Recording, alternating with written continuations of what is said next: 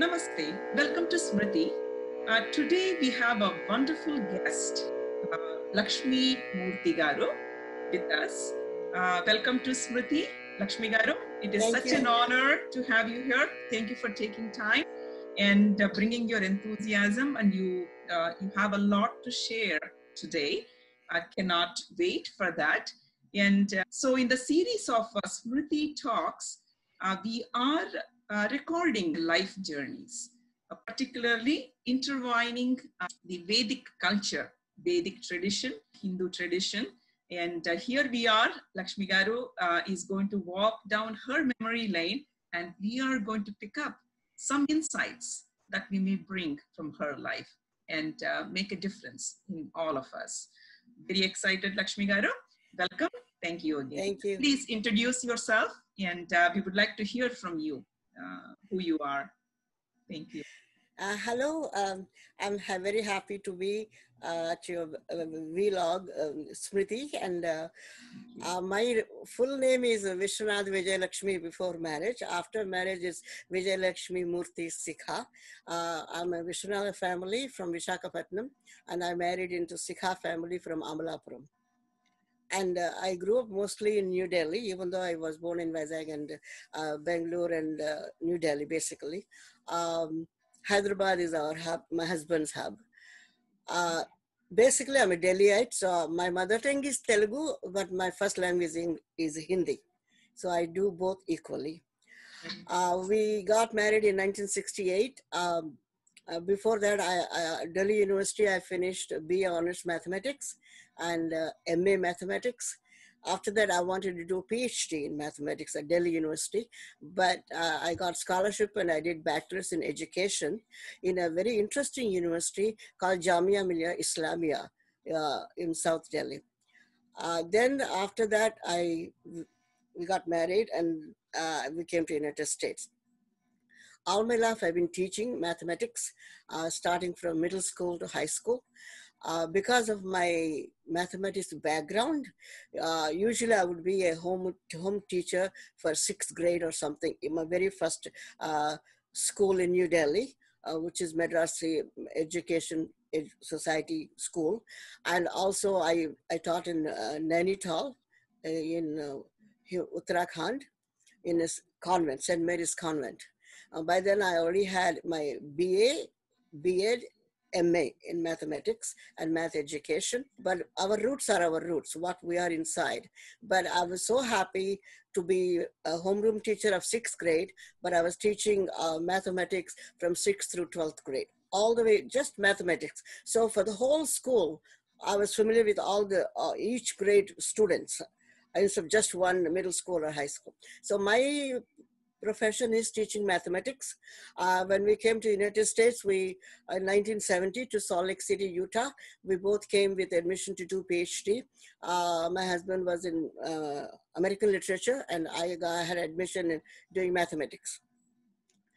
And uh, it's, it's, a, it's a new journey, and we did it. Uh, I also liked education, and I was very eager to get my jobs. And uh, in the Salt Lake City Board of Education uh, school district, uh, so I did finish my ma- master's in education. Uh, that's what I did. I transferred my credits and did that part. And uh, I taught in high schools. I taught in uh, community colleges. Then I taught the university level. And uh, even in California, I was in Long Beach City College and Long Beach University, Cerritos College, Cypress College. That was in uh, in the 90s in Southern California. Then uh, here, uh, in, since 97 in the Bay Area, I taught almost every single college like De Anza College, F- Foothill College, Cañada College, Evergreen College, even down south in Gilroy, uh, Gavilan College. And all that experience landed me full time at the university. And uh, so I retired as a university mathematics teacher. Wow, what an amazing. Uh, yeah, I taught basically, look at me, but I taught finite mathematics, uh, statistics, and geometry, solid geometry, uh, all kinds of difficult subjects. For me, challenging was statistics at Cañada College. That was mm, very challenging. because uh, when I was doing my master's in mathematics, I had an option of doing statistics major or uh, astronomy major. And I signed up for statistics, but because that was the modern thing to do in the 60s. But one of my teachers separated me from a best friend because I was talking to my best friend too much. So she separated us. So my friend was a statistics uh, major and I became an astronomy major. I did ballistics, uh, n-dimensional geometry, all kinds of stuff in my master's degree but I didn't do statistics. But here I did teach statistics. So when you have a master's, the the your employer, the college, will take you and they will challenge you to teach every subject that they need you wherever they need you. So I had so much fun. Uh, now I'm retired. So uh, during the course of my life, even though I worked full time, I was never home. Uh, I never cooked at home, nothing like that. I'm a tomboy. Uh, I lived in hostels uh, and uh, I, I studied. But after marriage, everything comes back to you. As a child, that is my philosophy in life, which my personal experience is. Women, a child may not know that, but they will carry the experiences of their childhood, what the mother teaches, what the father teaches. And um, like my father insisted on me learning bicycle, and I also drove, rode Vespa and Lambretta scooters but yeah, uh, with a sari. uh, then when I came here, it's very easy for me to learn driving. So that's why I always drove almost thousand miles a weekend uh, from Utah to Los Angeles to teach my daughter Bharatanatyam lessons. So she was in high school, yeah. And there, there are so many phases of my life. So there was a phase of my life where I lived in Utah, I lived in Los Angeles. Now I'm living in the Bay Area. But there was a phase of my life where, when my daughter was in high school, uh, she, I drove her on a Friday. As soon as she came home from school, uh, 2.30 in the afternoon, we would take off. And at the outskirts of uh, Interstate 15 is my road. And uh, we would take a Taco Bell vegetarian taco or something. And uh, by night, we would reach Los Angeles. And uh, early in the morning, 8 o'clock, we were in the dance class for the teacher. It doesn't matter whether you live next door or whether you live two states ahead, you know, wherever, but you show up in the garage where she's teaching. That is how a student will learn. And that's what I did you know, I don't feel like stopping you, but you have so much to say today. Yeah, I just get carried away. So we need to put a halter and get back to the uh, format or whatever you know we need no, to cover. No, no, no. It's always exciting. I've known you almost. Uh, I've seen you from a decade, but I've known you a more closer. We can say five years or so. But you were always an inspiring personality. And uh, not just me i've seen you. Many people are inspired by you by your activities your enthusiasm. And it is amazing. And more than all your traditional outlook you have carried all along tirelessly. Uh, something um, uh, i was intrigued and uh, i have uh, spoken with you about it but i felt like you should share this with smriti viewers also and make an impact on many more people around the world, across the world. And I see yarn behind you. So, I mean, we can go about, I mean, today's topic is integration of your Vedic life, the way you have lived, embracing Vedic culture. Yeah. And uh, a philosophy that you carried in your life. Um, but uh, but your yarn is uh, kind of uh, getting please say something about the, it, that as well and yeah, we'll move on. yeah, yeah. Mm-hmm. what you see behind me is the end of the road for me. This is what i do nowadays. Uh, this yarn wall has been there since 2017 uh, it's a brand new yarn. Uh, these are balls called mandala. Uh-huh. and each ball has different colors in it. And they're very very nice color. They're called color uh, colorways you know and uh, so you start making something and uh, the colors might come by themselves. They don't uh, really change. You you don't have to change each color a joint. So this is the mandala i make. Um, okay. it's just a cap caplet. You go uh, goes on the shoulder.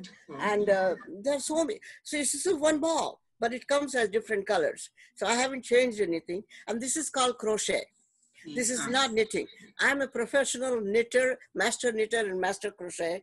I'm master gardener and master of mathematics. You name it. I have masters in a lot of things. But uh, but then this yarn is so much fun. I have different kinds of yarn. I mean, in the other room, I have six bookshelves. Here, it's only three bookshelves full of yarn. And I have to uh, collect teacups and, I, I, you know, whatever I do collection. I think my mother's brother used to collect a lot, blown glass and all that stuff. So uh, I take after my mother's side a lot. And I do take after my father also by being bold and by being brave and go for it, you know. Dhairya Sahase Lakshmi. My father named me Vijay Lakshmi. Oh. And uh, my husband said that's too long, so he calls me Lakshmi. No, he calls me something else. But uh, when we became citizens, I just became Lakshmi Moorty. So that Yeah. so basically, I was born in Visakhapatnam, raised in Bengaluru. My mother used to put two braids on me, and always I wore denim uh, skirts and stuff like a convent educated girl. That's how my mother looked at me, always like that. Never helped in the kitchen, never did anything. But I do remember uh, my mother um, doing Varalakshmi pujas, you know, when I was a baby, kid, five, six, seven, eight years Yeah, I see uh, uh, Ammavaru, we call. In our uh, dialect, and uh, Divine Mother, uh, Lalita. Yeah. Right, yeah, here. Yeah. Yeah, please share something about it. my passion is as you can see the yarn uh, knitting and crochet and my spiritual uh, my hobby actually is worshipping L- lalita devi that is the big sta- photo i have and i enlarged it and i would take it to the temple and every annual from year 2000 to 2015 every year i was doing samuhik lalita sahasra namavali chanting for 100 ladies so i would bring everything and we would chant and give vinums everything so I'm a big devotee of Lalita Devi. This is Navratri time. Nine Yes. days we worship Mhm. Lalita Devi, and every day I I would just put the lamp and. Uh, at home, I read uh, Lalita Sahasranama Stotram.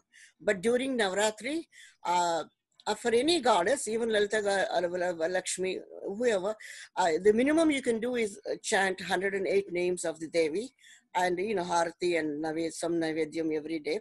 Uh, but if you want to go a little bit further, for every god, like a Vishnu or a Lakshmi or a Lalita Devi, uh, we can chant 100, uh, 1000 names and then followed by 108 names. That is the puja parikrama we do. And then all the Shodopacharalu and everything. So that is Good. my Navratri uh, routine. Very nice. And happy Navaratri uh, to you and to our Smriti viewers. Yeah. particularly uh, you came to um, our mind, our team's mind about your outlook, the way you dress up with that big bin and Yeah. uh, your uh, grand saris, but actually they're very, very pure. They convey a message. And I'm Yeah. uh, Yeah. like your collection, I've seen you in different colors, Thank you. and Thank shades, you. and your jewelry as well. And Yes. uh, I really want to ask you so many questions like uh, what brought you here and how are you carrying this one? Probably we can start off. Uh, something must have kindled your interest Mm. from your early childhood. Uh, so I, I'm curious where, uh, where you are today, what you're following has Yeah. a history behind. I want you to go back down your memory lane and start off. Uh, uh, I mean, at what age you felt about this Vedic culture or the Hindu culture that embraced you and made a difference? If you can Yeah. remember, please share. Thank you for the question, and I'll try to be precise. What are the landmarks that made me change or be what I am today? So, as a child, my mother used to do Varalakshmi pujas, and we would have, uh, I would watch her do pujas, and I also remembered how she uh, put it away at the, after three days of puja. And I also really enjoyed socializing. I, I combine pujas or spiritual experience with socializing. Means at each time you do something you invite uh, ladies for at least four ladies for parentum or- so i really enjoyed getting dressed and enjoy uh, the ladies coming and uh, you know doing the parentums. That, that was 50% of my pleasure following the culture and then uh, even in new delhi we did the same thing. Then I, I always was fascinated with big party socializing. Means you do puja and and then you invite everybody uh, you know like 50 people and enjoy the socializing part of it. And i love to give out vinums you know. You give What one is Vinam? Uh, means uh, goodie bag. Yeah. Goodie So normally Vainam means when you invite another lady to see your goddess that you did puja. Amavariki, you know, we do we present a, a sari and fruits and everything. Same thing. Uh, we give it to uh, the ladies we invite. The minimum you can do is put bottu. Minimum four people. Then, uh, uh, in addition to that, you can give tambulam. Tambulam literally means uh, betel nut leaf and vakka and paspu kumkum packets. That's it.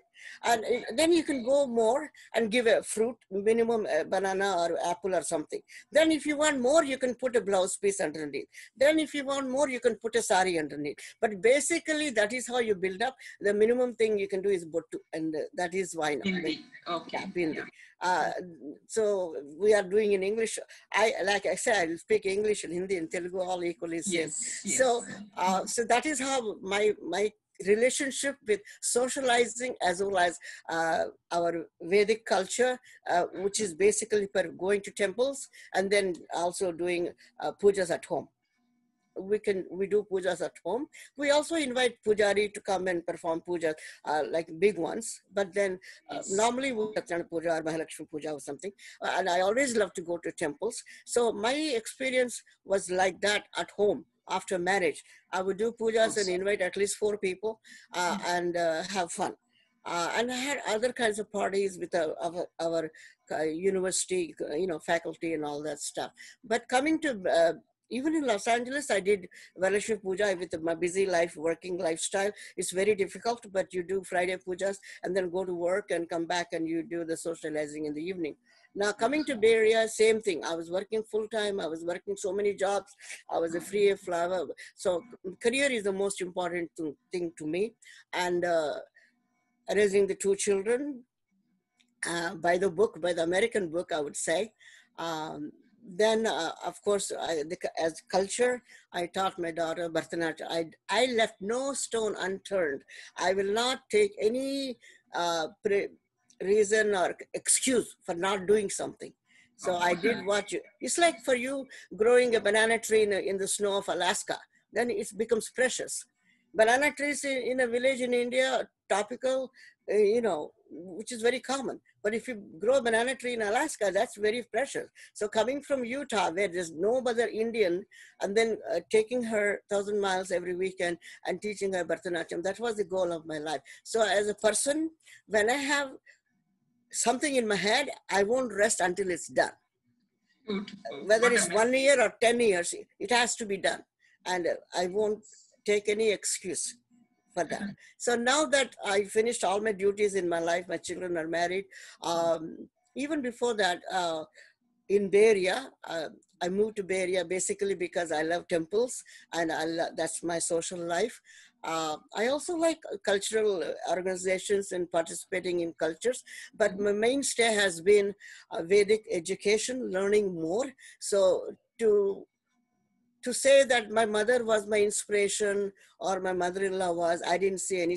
I didn't live with mother-in-law that much, uh, but what I remember, what my mother did was that I remember. But basically, on my own, uh, I would visit temples, and I learned it's a self-education, self-taught. So all the procedures, and when I learn something, I go like up to the PhD level. So I fell in love with um, interested in uh, Lalita chanting, and I I got all my scriptures from Livermore Temple in all the languages, and then I printed them in Kinko's. Uh, it cost me thousand dollars to make copies of all those papers in all the languages in year 2000 when I had 100 people in the Sunnyvale Temple to do that. But I distribute them, and uh, it's just way of life. I just love it. It's nothing like, oh, I, I'm Orthodox or uh, I have to be spiritual. It's nothing like that. It's just for fun. Um, uh, and so that became a part of my life. So in the Bay Area, a lot of people only know me as this auntie who does Lalita Puja. The, they remember me like that. So I love the, my identity like that. Uh, I'm not a math teacher. I'm not whatever, but I am just, um, uh, they don't see me as a professor who is retired.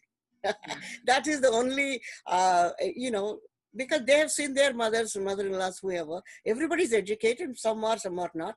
But when I come out, doing pujas that's what they think. But you know there's a, a, stage and age in your life when you do change gears and you, you have to follow your passion.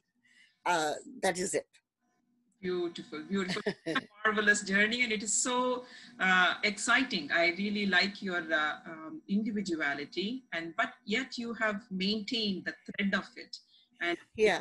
example and you're setting an example not that you're deliberately doing but you're living your life but yet you're influencing people around you. Yeah. See when you're young uh, when you're working you wear all kinds of dresses saris whatever. Right. at the end i ended up wearing skirts you know to go to mm-hmm. work with the jackets and all. But uh, the only time i wore saris was going to temples. So for me a temple means pattu sari. This is it. Uh, and not printed georgette uh, nothing yeah, we get new saris and people wear any saris, but you can wear new saris to go to movies or socializing. But whenever it is a temple, and even when you offer uh, um, a, sari to be uh, for the temple goddess, there are certain standards spiritually for Devi what you offer and what Devi can wear. So I always it's buy two. that's what I do. So the, with temples, that's how I ended up wearing only pattu saris, and that became a tradition. I love jewelry. I, I don't. I, I that's just my trademark. This is how I am. Uh, about the pujas itself, the process of Vedic uh, awareness and the process of worshipping any god or goddess, the procedure itself, I self-taught myself by observing in the temples what you do, Sri Suktam, Durga Suktam, you know, uh, all those, uh, any, uh, every single thing I learned by printing out papers and learning them by heart. I, I learned by heart Lalita Sahasranamam and then I enjoy chanting Om Angrim Shri Shri Matre Namaha. It, I don't like to, it's not a competition. One thing I noticed is it's not a competition of how much you memorized by heart or how fast can you chant. Uh, to me, performing puja is like yoga or calmness, you know, bring bring that aura in you. Enjoy it. Just like we have chanting of Om, chanting of any soft music to calm us down, to lead us through the meditation path. Um, I know it's not uh, that easily accomplishable uh, in the temple setting where there are so many people, but still the process of worshipping itself, there's a procedure to it. And I always watch the priest when they perform it. Like for Andal, Goda Devi, I learned Goda Devi, uh, Dhanur Masam, 30 days, I would go and enjoy that. I know Tamil, so I can chant Tirupavai, not just Venkateswara Suprabhatam or, you know. Uh, so I learn anything that's happening. I learn it as I, as I come across it and the, the mainstay is Lalita Devi, even though I do Mahalakshmi Puja and all that. So the mm. process is you invo- invoke, uh, you take an idol or even a pasupu, uh, you know, like a Ganesha, and then you invoke uh, the the spirit. Uh, to me, is the God is as strong, as big, as huge, as powerful as what we can see in our head. A rock is a rock is a rock.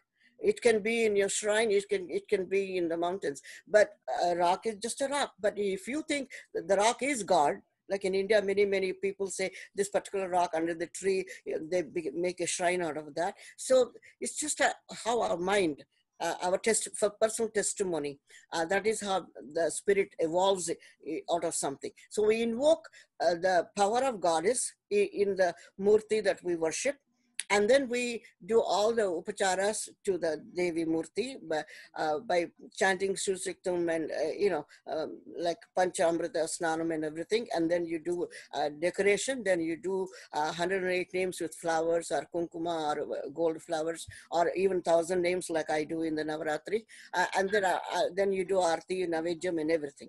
At the very end, um, especially in Mahalakshmi Puja, I learned once you do all of that, then you do Namaskaram when you do namaskaram, you with all that we say, God, I have performed this ritual of praising the Lord in as much as I could. Uh, please forgive me with any mistakes of doing. Please forgive me with any mistakes of pronunciation. Please forgive me in any mistakes I've done in the procedure. And please forgive me if any other thought that I have, uh, you know. And then you, for the most humblest, uh, highest thing for us is to bow head to God and say, please forgive me. You accept God as the ultimate power that rules the world and that is how I see it. And then that is one part. The second part is to the goddess, especially Varalakshmi. You say, okay, now I invited you, I did all these things for you. It's like you're giving a gift to somebody, you praise somebody, people are happy, right? And then you say, now that I've done, now I have given you the power. Now uh, you have the power to make me happy. So I'm going to ask you something like, you know, to make me happy or whatever wishes, yes. and please bestow me those wishes. As then we say, okay, now thank you very much. And then we do the Udvasana the next, especially with Lakshmi, because we want Lakshmi to stay in our, sleep in our house. Uh, we, we don't want to make her go away. Uh, Navaratri, nine days, we have a procedure. Uh, Galad Ganesha, you know, we do Navaratri. So all these things I've learned in the past 20 years. I didn't know there was nine days of uh, Ganesha. Uh, and I didn't know much about Kartika Masam. Like right now, this mm, Navratri, then comes Diwali. Everybody knows about Deepavali. But right after Deepavali, Amavasya starts Kartika Masam. When they start Kartika Masam, there's a Rudram, you know, Lord Shiva is worshipped 30 days, which I didn't know that. I only thought Shivaratri was for Lord Shiva. But now here I learned a lot how you do it, how, uh, you know, there's no end to spirituality. Uh, there are two, one is visible and one is invisible spirituality. Uh, so yes. that's in our mind and how much we want to. And the another thing is, we, if we to have control on our body, it would be nice to go to a temple on a routine basis and uh, worship God, whatever is happening. Another thing uh, I would say, normal routine. It is a blessing just to be normal. Imagine when you have a pain or when you uh, had to do something and you didn't have time to do it. So just to do your normal, be a normal thing, normal that is the state of affairs. We don't want up and down this way, that way. So being normal, mean doing yoga, doing your daily chores, doing, you know, balance your day 24 hours. That if, if life goes on a train tracks like that, that is the best thing you can accomplish in your life. You don't want surprises. You don't want ups and downs. Very well said what a marvelous uh, journey. It is very exciting. I mean, I could travel with you, and uh, it really feels so good the way you explained uh, to lead a life, conduct our life. And uh, so, uh, another basic question is uh, what does all of this mean to you, the Vedic, and what message do you want to give away to your younger generation? uh, I mean, because I saw uh, you already mentioned that uh, it is a responsible way of living your our lives, and uh, mm-hmm. please give away some message to your uh, younger generation, people to follow, because you have lived in US for 50 years. Yes. Yet you are embracing our Indianness, the Vedic culture, the Hindu culture, and uh, so. Mm, what is it that you want to relay for younger yeah, 50 years in the United States. Uh, uh, coming from India and living in India in different parts of the country, like uh, South India and New Delhi, and coming to United States for actually mm-hmm. educational purposes. From the beginning, I had my heart set. I want to go to America.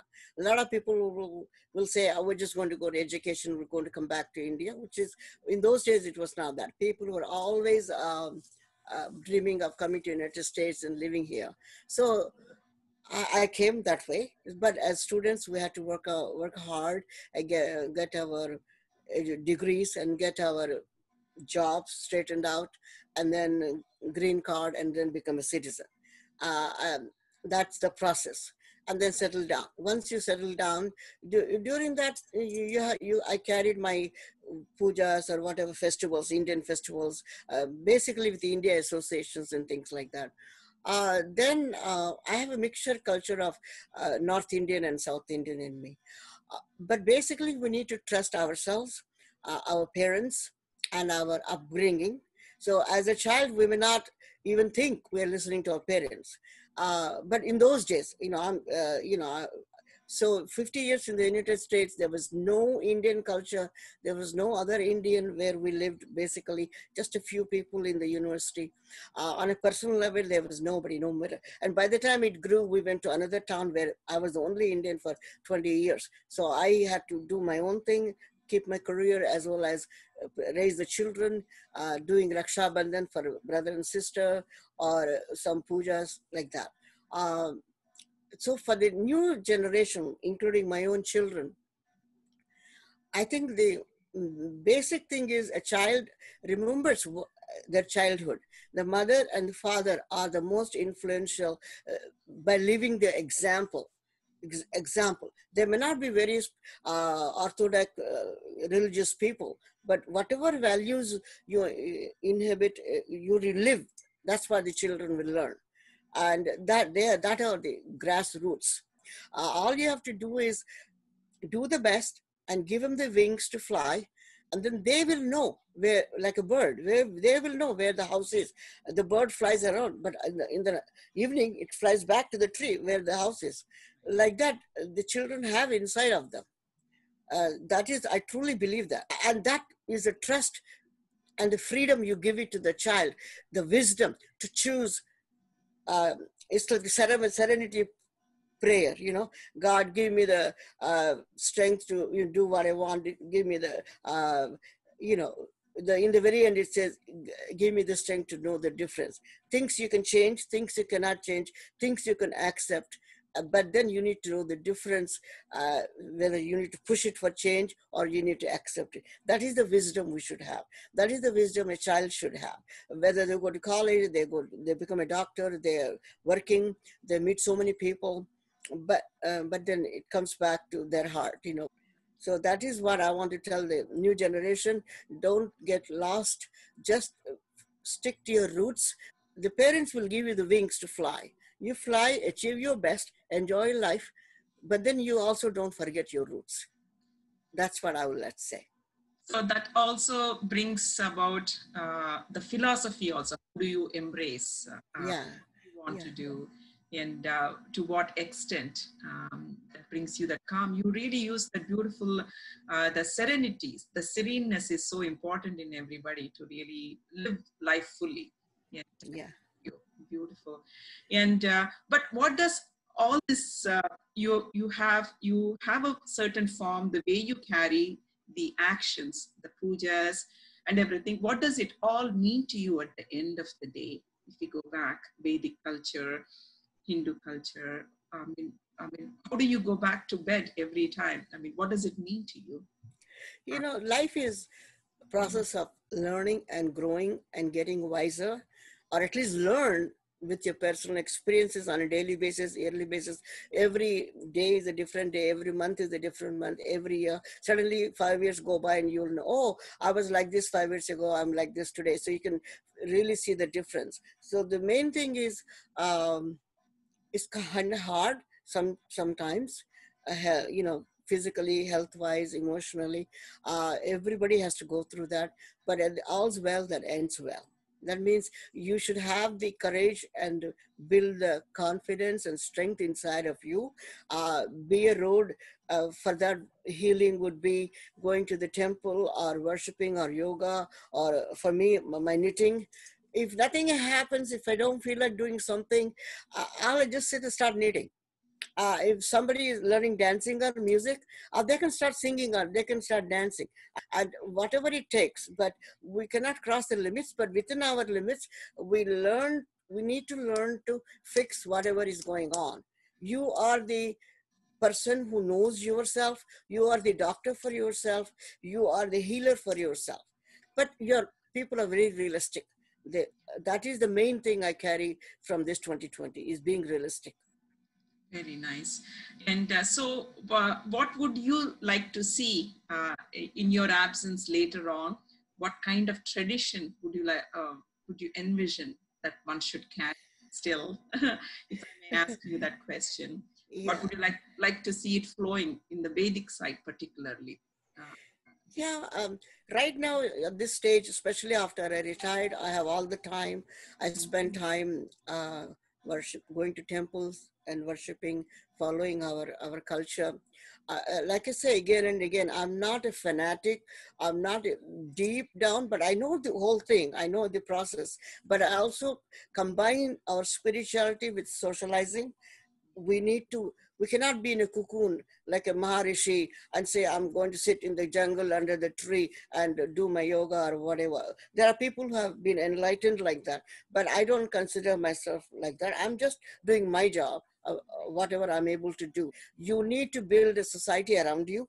It's like a net, a web, and you need to act that you pick. And then you need to act responsibly to each person that you have built as your network so that gives you a protection of network and that also gives you challenge to be a role model, to live your, you know, what's your life, what's your life and be a role model to other people.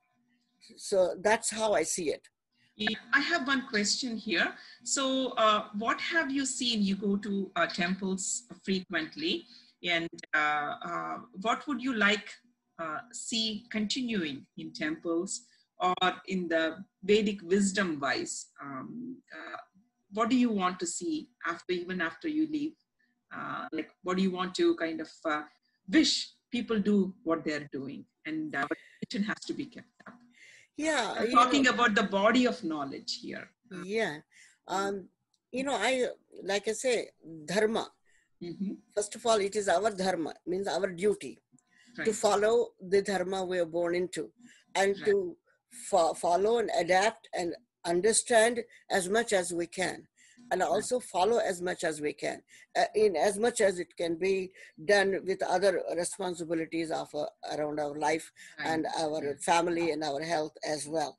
Uh, right. now i don't even see uh, the, the, the temples are there. There are shrines. That's where we look physically look at uh, god and worship. So the temples should be there. We support the temples, uh, what, whatever religion or temple you believe in, that is the anchor for you to look up to. And you support it. Without your support, nothing can exist. As a devotee, you can do that. And, and, and personally, uh, the legacy, uh, if I may say something uh, like yesterday I was telling somebody, you know, I, I, was not feeling well today. I couldn't go to the temple. And then they go, uh, Lakshmi Garu, you know, you have done so many pujas. You've done so much in your life. Today, if you didn't go, that is okay. You've done enough. You know, but I'm not doing enough to acquire punyam. I'm not doing daily. As long as we are living on a daily basis, we have to do, deal with our karma and we have to follow our dharma. Those are the two words I would yes. say.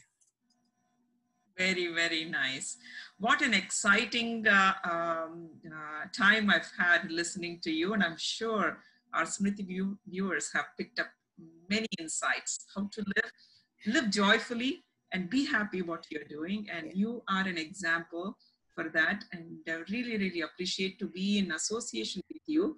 Uh, yeah. Uh, I have been blessed, and I'm sure many people watching you are going to be inspired. Okay. You have made a difference. I want to give you a, a, final statement in a not in one sentence, but thank you. Thank you for inviting me to Smriti, and I really feel an honor, and I really think I do deserve to be ta- talking and let people see what I think about. I appreciate you giving me this opportunity. Number one, number two is uh, the like you said, dharma, karma, whatever, but the virtual worship. Like yesterday, the temple is doing virtually with the camera. So yes. I am home, but I'm still worshiping. I'm looking at something. So watching the temple, watching the deity is an anchor for us, for phys- physical concentration. But we can close our eyes and we can still concentrate and worship and pray. Uh, so that is what I would for me the temple is forever there because even if i cannot go to the temple uh, i can stay at home and as long as the technology and the electricity is working we can uh, this is a new step new step for retired people who cannot go physically go to the temple uh, this is a beautiful so much technology to enjoy everything from where you are and and also i wanted to tell you that i am not very orthodox. I'm not very religious, but uh, like I say, religion and social socializing is a is a thing for me, a norm for me.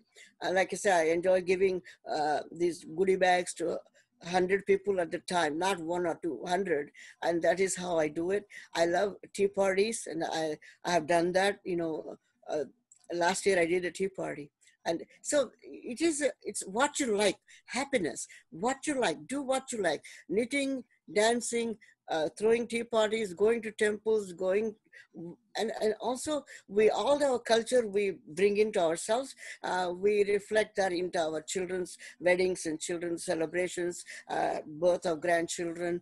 You know we grow with the family. Um, but at the same time uh, for me i'm able to keep my identity my independence and uh, I, am a role model to everybody in the, that's what they say. But for me many times you know life throws things at you that you need to uh, survive. And I, I truly believe god gives you a challenge uh, regardless. And you get the strength to survive and there's nothing like throwing up the towel. I can't deal with it. I don't believe in saying i cannot deal with it. You can deal with it uh, the uh, amount to the extent that you can and god has given you that power. So for the younger generation just do your thing and, and be true to yourself. Follow your intuition. Follow your duty. Follow your follow your vision in life. Very beautiful. Thank you so much. And but what we i could pick up is you have anchored in the Vedic culture, and that yes. made you a person here, and then really live your life fully. And, uh, yeah, talking about this auspicious Navratri times with the Hindu religion, this this is the most uh, precious nine days of worship of yes. goddess uh, Durga, uh, nine forms of the goddess, nine powers of the woman. We are women. We talk about women's empowerment and all that stuff. Right. But for me, the Vedic education, Vedic dharma, following our Vedic spiritual, uh, you know, uh, spiritual, the books and everything. Uh, that is what is important. And this time uh, you're interviewing people during this Navratri time. It's a very apt time for me as a woman, for me as an embodiment of power, a Shakti, and a devotee of Goddess Durga, Goddess Lalita Devi, nine forms of uh, Goddess and the Devi and woman's powers. We're celebrating the power of woman and uh, happy times. Beautiful. Uh, I'm speechless for now. And uh, what an amazing uh, time well spent with you. And uh, uh, please continue what you're doing. You are an inspiration. And uh, thank you.